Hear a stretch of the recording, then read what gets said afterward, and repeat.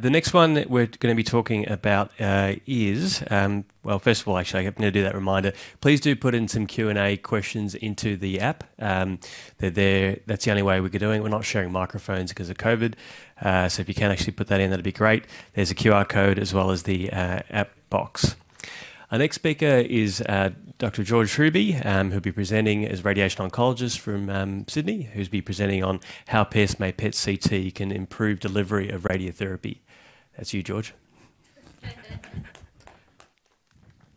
so, um, sorry, can you hear me? Ah, yes, loud and clear. Um, Annette, Michael, thank you very much for the uh, invite, um, and uh, thank you to all the preceding speakers. They've actually made my 12-minute talk much easier because it's quite an Herculean task to cover the application of PSMA PET to radiotherapy uh, in just 12 minutes. So let's get on with it. Take a deep breath and where's my oh i'm over here um, so the many ways that um, radio, psma pet improves radiotherapy so we're going to go from staging which has been beautifully touched on to outcome assessment, and it drives our research program at North Shore. And that's, to me, perhaps the most important part of PSMA PET in our practice because we're getting better and better because of you guys. Um, I'm going to use lots of dirty RT acronyms, so simultaneous integrated boost, which is essentially the same as dose painting. GTV boost, same thing again. We're going to talk about that in relation to the flame trial. Um, MDT is just another word for SBRT. It's metastasis directed therapy. Uh, I'm going to talk about addiction, so open up your amygdalas. Um, you'll see what I mean by that shortly. There's going to be one scatological sandwich, which Michael's permit permitted me to use, and we're going to end with um, the late John Lennon. So, um, in terms of uh, staging, I'm not going to go into this in detail, but I would say that you know even before Michael's Sentinel um, uh, pro PSMA study. There was local data from our institution looking and, funnily enough, having exactly the same sort of results that you guys have shown. Um, not much point in staging an ISUP 2, but from ISUP 3 onwards, uh, really useful, not for just upstaging about 5, 15%, 5% for METs, 15% for lymph nodes. Um, perhaps most importantly, as has been alluded to by Tom, downstaging from M1 to M0 in about 2 to 3% of cases as well. And that's really important for the patient in front of you. Uh, one of the most important RAD-ONC trials has been the FLAME trial. Um, and that is all about using P, well, in their case, multiparametric, but we've uh, included PSMA PET to, uh, in our program, and I'll show you some of our results. We also use it to hopefully make our art better. So looking at delineating where people fail after our treatments, either definitively or with salvage radiotherapy. And again, um, we then led on to do a focal retreat program. That's sort of busting dogma. You know, a lot of people will say once you've had radiotherapy, you can't have more. I don't think that's necessarily true. Um, the um, Shankar is a, is a local leader in uh, SBRT, so uh, we don't need to talk too much about that. But again, the evidence base here, with the exception of the FLAME study and Michael Hofman's seminal, seminal um, pro-PSMA study, is actually quite low tier, particularly the dodgy stuff by Hruby et al.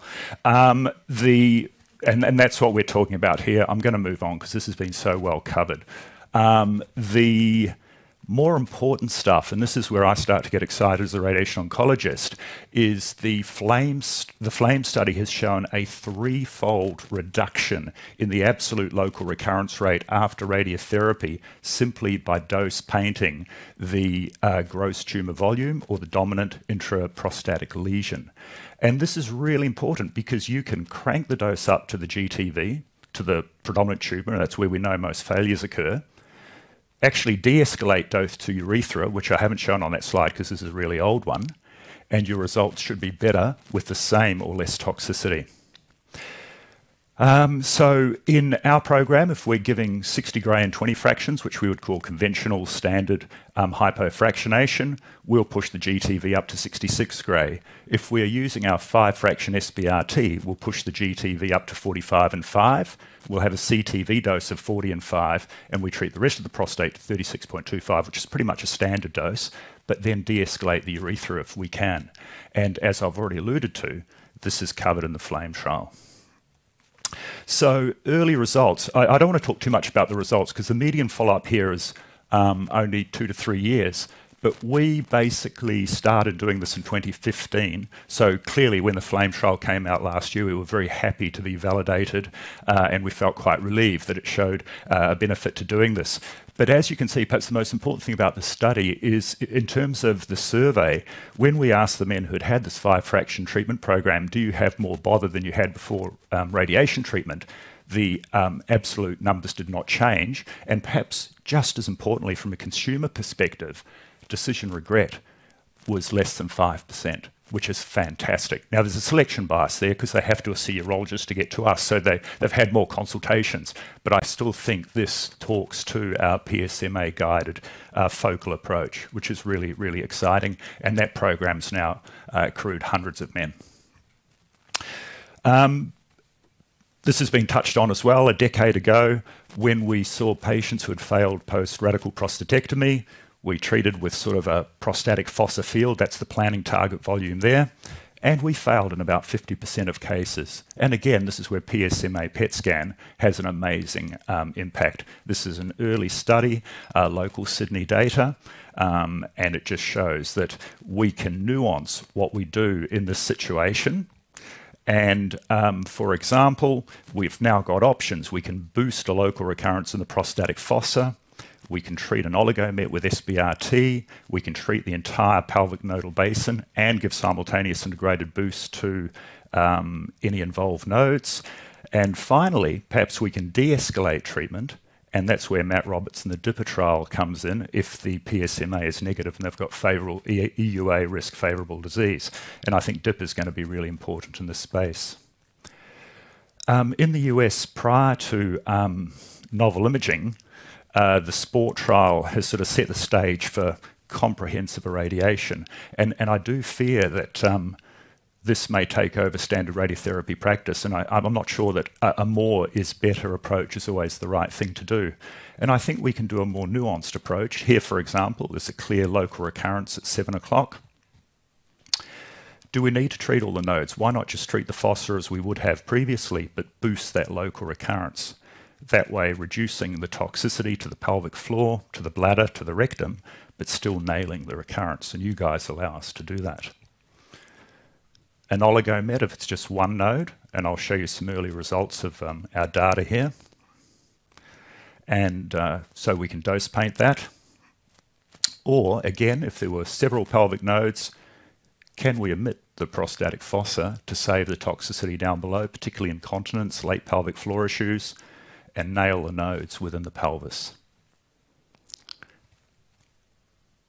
So what does um, our SBRT program look like?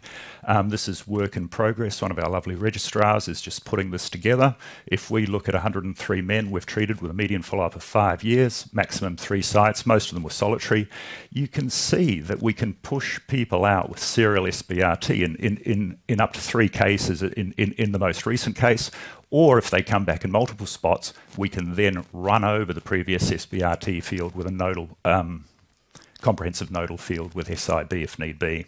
Um, you can see up front, we only cure, you have to tell patients this is not a curative approach. We're probably going to delay ADT um, and kick the can down the road.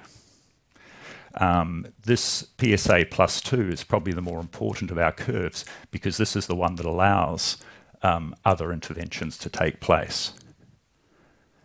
Why did I talk about addiction?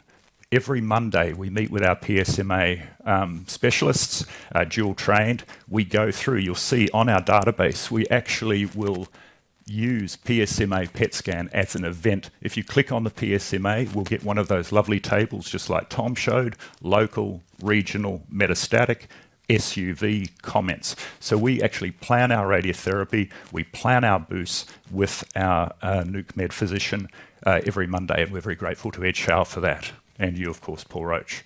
Um, the um, PSMA has become the ground truth for all our data, and it's quite easy to then whiz back we have um, the ability to do, well, we, we, clearly do lots of PSMA PETs, as you can see from here. We treated SBRT to a right iliac node. We wait for the PSA to double before we do another PSMA PET. That's our standard practice. Um, and eventually you can see um, fail in front of L5, got SBRT, but now is needed um, ADT for relapse. But we've pushed this guy out um, several, several years with this approach. The scatological sandwich. Um, Sydney is the Balkans of uh, medicine, really. There seems to be a nuke med department on every corner, and um, we still get these streams of consciousness. This is a report from about two weeks ago, not from North Shore and not from St Vincent's, I might add. But if I want to read this stuff, I'll pick up a Thomas Bernhard novel in my spare time, because to get to any guts here, you have to read that for at least 20 minutes.